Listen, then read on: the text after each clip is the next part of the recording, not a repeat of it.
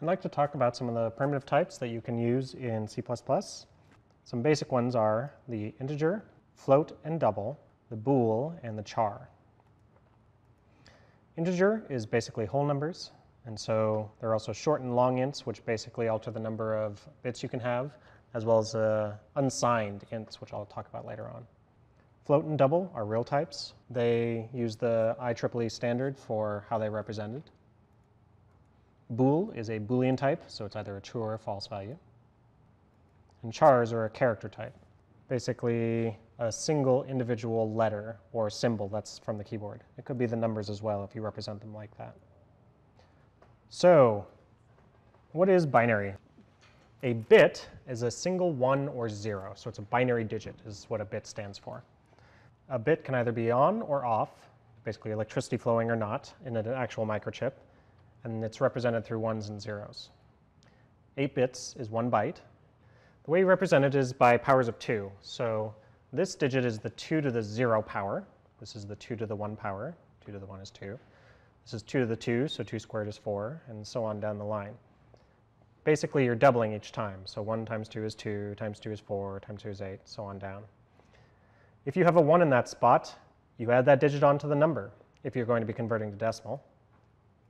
For example, so this number up here, you have the 1, the 4, the 16, the 32, the 128, and it equals 181 in decimal. It may be tempting to look at this number and go, okay, how do I represent negatives? That's not possible, right? Well, there's a couple ways of doing that. One way is that you might come up with is called ones complement, where you just take this first bit and say, all right, that's a negative sign if it's a 1. So this would become negative 53 in that case. This has some problems. It means that you can represent 0 and positive 0 and negative 0 in this encoding. Also, the numbers don't naturally add together, which is also kind of a problem. So there's a, another encoding that ends up getting used more often called 2's complement. In 2's complement, what you do is you take your number, so in this case 22, and you flip all the bits, and then you add 1. And that becomes your negative representation. The nice thing about this is then you can add numbers together and they actually add pretty naturally. And you only have one representation of zero, which is also very nice.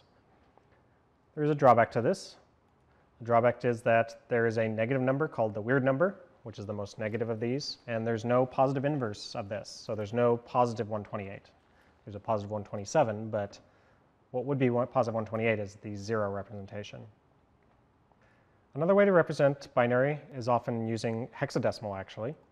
Hexadecimal, you have the numbers 0 through 9, and then A is 10, B is 11, all the way up through 15. So there's actually 16 digits to this. The advantage of this is that you can actually represent four bits using a single hexadecimal letter or digit. So for example, if all ones would be an F, so that represents the 15.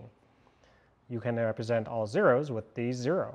And so you can actually encode this number, which has eight bits to it, using two hexadecimal letters or numbers. You often see hexadecimal when doing web colors, or any kind of colors actually. So usually they'll use the red, green, blue way of encoding color. So these first two digits here are two hexadecimal digits which represent red, and then the next two are green, and the next two are blue. So this is red, green, and blue for this number here, with that as a decimal number. So CC is 204 in decimal. Often you'll see these two as different ways of representing hexadecimal. So that particular number is this color blue. Floating point is a lot trickier. It uses a special kind of encoding where it has a sign bit, eight bits of exponent, and the rest is mantissa, or basically significant digits. The double is, has a lot more bits for the exponent of mantissa, so it's got 64 bits of precision. The formula is you take positive or negative 1, depending on the sign bit, times 1 point, whatever this binary digit is, times 2 raised to the e power, basically. So it's a lot like scientific notation in that way, and it can represent very large and very small numbers in that by using this formula. There are some special reserved cases for floating point numbers that include 0, 1, positive and negative infinity, and not a number. So if you divide by 0, you get not a number.